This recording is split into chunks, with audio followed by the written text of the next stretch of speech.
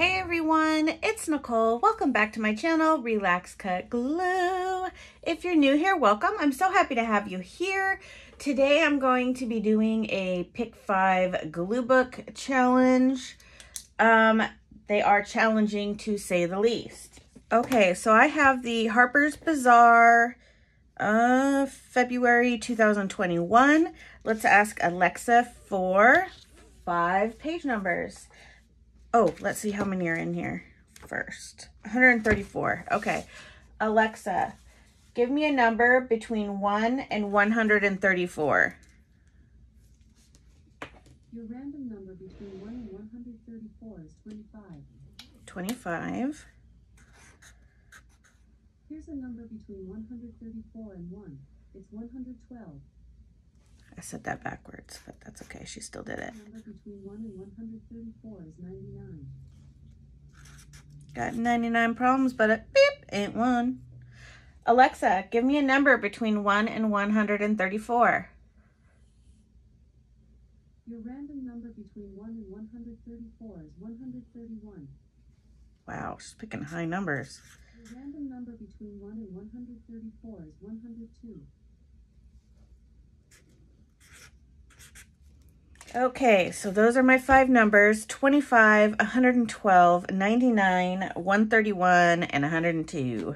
Yikes. Okay, so this is my notebook that I keep my pick fives in. I use um, a piece of black cardstock, and then on the back, I put the date, the magazine name, the issue, and then the numbers used. And so far I've used the same numbers every single time. Oh wait, I didn't on this one. I used different one. I used different numbers. But I think on these two I used the same. Yeah, these two I used the same. Okay, so let's put this aside. Let's find out where number page 25 is. Well, there's 22. Here's 25. Oh gosh. Ah! Ugh. Okay. All right, well, there's 25 find 99. Wait, I saw a page number. There's 90. There's 100. 99, okay. And 112. Are there any numbers back here? Here's 114, 113, so 112. Ooh, Ooh, okay. Um, oh, I didn't take 102. Or did I? Did I already do 102? 98. And then I took out 99, 100. So this is 101. This is 102. Okay. Now I need 131. Here's 134, 33, 32, and 131. Whoa, okay. All right, so Harper's Bazaar, please give me the creative juju to make an awesome pick five page. Okay, so I got that part out of the way. Got to pray to the, the crafting gods. Got my piece of 8.5 by 11 black cardstock. Okay, so let's pick what we have here. So I like this. Not so much that. Okay, I like her. Ooh, but I like her too. Love her. Okay, I got a lot of like women. Okay, so I definitely like the pink better. What do I have here? All black. Okay, wait, does it say anything? No. Okay, so I have to look at these a little bit. I really love this page. I don't actually want to use it, but I will. I'm looking to see if there's kind of like this word shape-shifting. I think I will cut that out.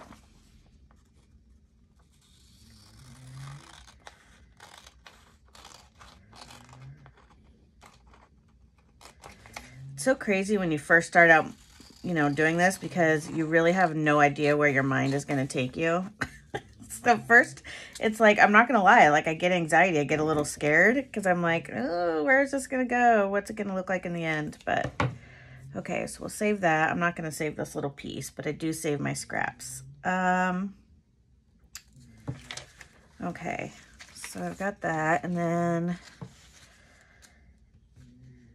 hmm.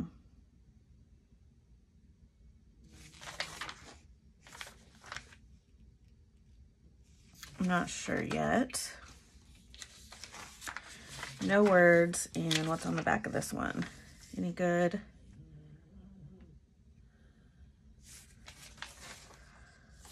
Um, okay, so let's cut out conversation.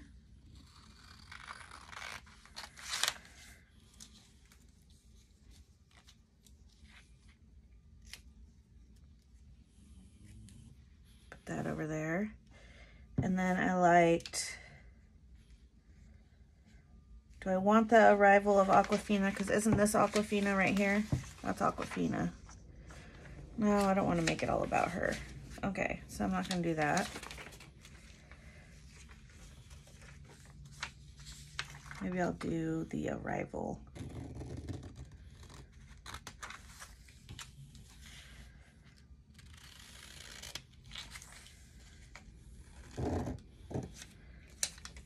the arrival. Uh, well, I'm just going to cut out the whole thing in case I do decide to make it about her. Because then I can just take out the arrival, because that's kind of what I was thinking is. Um, I don't need that piece. Okay, so what do I want to be my main focal piece? That's kind of how I'm thinking right now. Like, what do I want my main focal image to be. And honestly, I really like her. And I really like her. Okay. So let's just kind of get started. For my pick fives, I really like tearing paper. I don't know. I just like it one, it's relaxing. And two, you just don't know what you're going to get. And I feel like uh, when I do my backgrounds, it just makes it more organic when I have torn pages. Now, I don't plan on keeping these, but I'm going to throw them over here off to the side in case I do need them because you never know.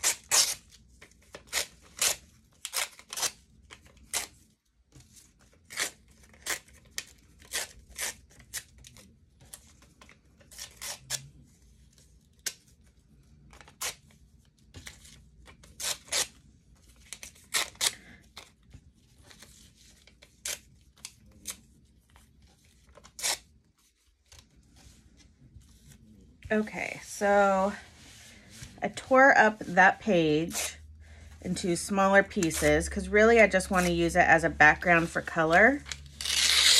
And I'm going to do the same thing with this image here.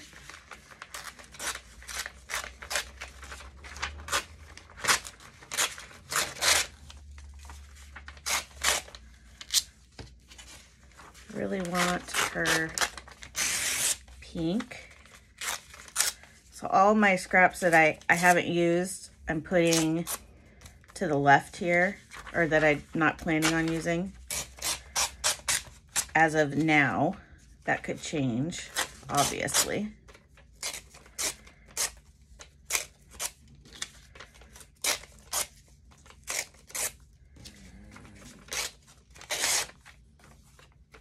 Save her in case I want to use her.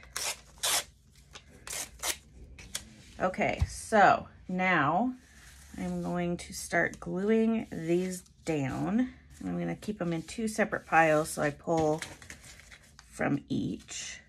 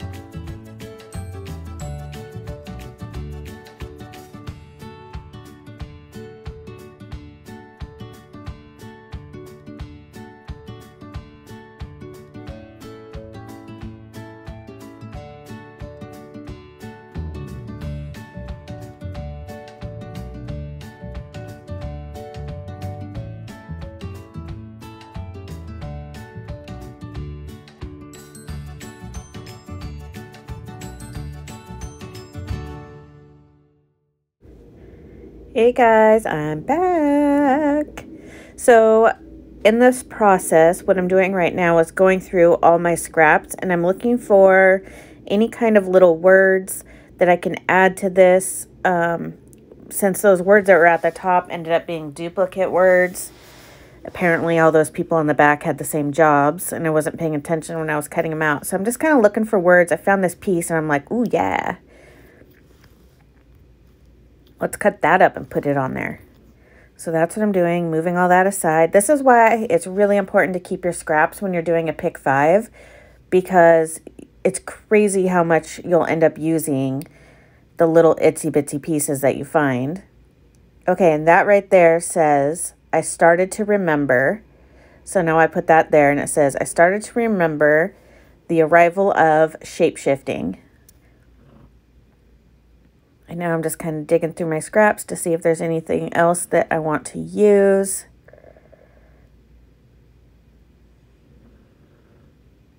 Still looking at that piece of paper because I'm like, ooh, are there any more words on there? So I think I found a couple more. And then I started wrapping this project up. I love doing a pick five glue book, but I'm going to be totally honest. I get so freaked out in the beginning because I'm like, uh, what is this going to turn out like? But the important thing to remember, and what I try and remind myself every time is who cares? who cares what it looks like? It's for fun. It's just a collaging exercise to get you to think outside the box. So if it looks like crap, who cares? I mean, honestly, first of all, you don't have to show it to anybody. And it's okay if you don't like it. There's, you know, some that I don't really care for, but you know, it's it's a fun exercise to get me to think outside of the box and maybe I find something while I'm doing this that I really like that I can use in my collage and glue book projects in the future. You know what I mean? So I, I really enjoy this exercise, even though it does give me anxiety. But then again, like what doesn't give me anxiety? Um, but yeah, it's a really fun exercise to make you think outside the box. So don't be too hard on yourself if you don't like the way your page looks. It's totally, totally okay. And you have to remember, you're using pieces that you're kind of forced, in quotes, to use. These aren't pictures that you picked, right? So if it doesn't turn out good, you probably didn't have very much to work with. You know what I mean? So I kind of wanted to put something up in that corner. So I just cut up some of the scrap papers that I had and I made a little flower. I don't know why.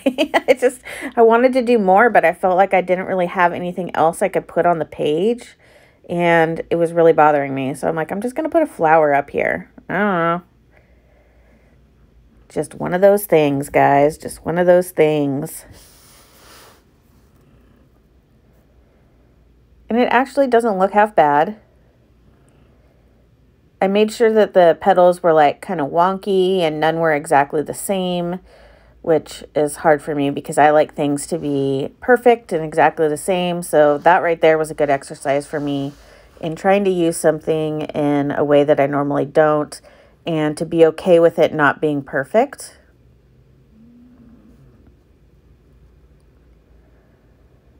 I just needed something in that corner. Just a little something, something.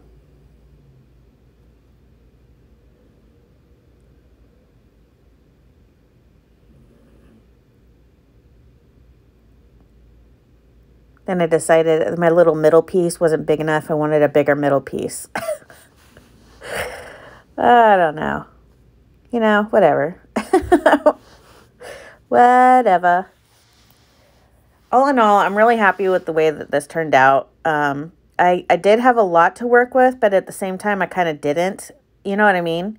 So, um, yeah, I just kind of struggled a little bit. But in the end, I'm really happy with what happened. And you know what? I had a really, really good time while I was doing it. So that's all that matters. I really love that lady on the left. I just think she's so pretty. And I love all the color in this um, in this piece. And then I still have that little face, and I'm like, I don't want to get rid of it, so I'm just going to stick it up against here. She's like, just peeking out. like, hey, girl, what's up? I'm a shapeshifter too.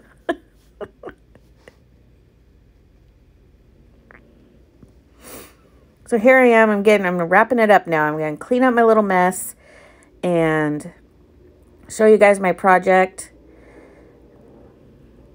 I, you know, I'm not, I'm not mad at it. It's not bad. I like it. I had so much fun doing it and that's all that matters. So now I'm going to show you all the scraps that I have left out of five pages. Really, that's not that much. It's more, I think, than I've had in any Pick 5 glue book. Here's the numbers again, 25, 112, 99, 130. Oh, gosh. Well, you saw them. I'll put them in the description box down below. All right, guys. Thanks, everybody, for watching. I hope you have a fabulous day today. It's a great day to have a great day. So let's make the best of it. Until next time, bye.